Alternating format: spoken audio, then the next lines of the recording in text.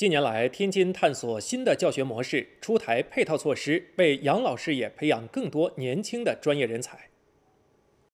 去年，天津开办了全国第一个养老本科专业——老年福祉与管理专业。今年，天津职业大学又招收了三十名学生。为了让学生们尽早掌握实际技能，天津职业大学与康宁金源合作，把原本从大三开始的实习提前到了大二。他们学生能够接触到老人。知道老人需求是怎么样？最近，新一批大二学生来到康宁金园报道了。园区给每个学生制定了一对一的指导老师。三十几位的老人用药，这都需要咱们对这个老人的疾病了如指掌。爷爷来说吧，你看，黎露露从事养老护理工作已经七年了，实习生陈明月是他带的徒弟。陈明月还记得，刚来实习第一天就遇到一位老人对黎露露发脾气，还把身上的衣服和被褥都弄脏了。从没见过这种场面的陈明月一下就愣住了。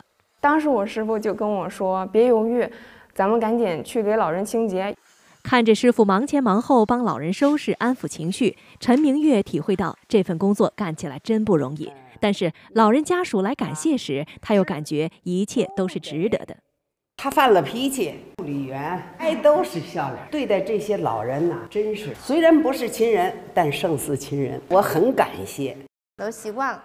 实习了三个多月的时间，跟着师傅陈明月，逐渐掌握了老人慢性疾病的护理，还能做些简单的心理疏导。实践经验让陈明月对养老专业有了新的理解。突然之间，也是坚定了我自己的内心，做这些工作是值得的，是被认可的。嗯，嗯我对这个社会是有贡献的，要在这个行业一定要走下去的。我们实习期提前到大二之后，大部分同学热爱上了养老。大概我们一次性的从事养老行业的能达到百分之九十五左右，就高了很多很多。十三五期间，为了让养老护理员队伍走上职业化、专业化、年轻化的道路，天津出台关于加快养老服务发展的实施意见。在民政部门备案的养老服务机构工作的养老护理员，经民政部门职业技能等级认定，可以按海河英才落户。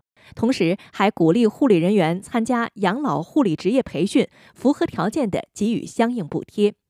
眼下，康宁金园有二十多位护理员已经落户，成了新天津人。今年一月，这里还被市人社部门认定为天津第一家可以面向社会从事养老服务职业技能培训的企业公共实训基地。因为有财政补贴，每年可以提供两千人的免费为老服务培训。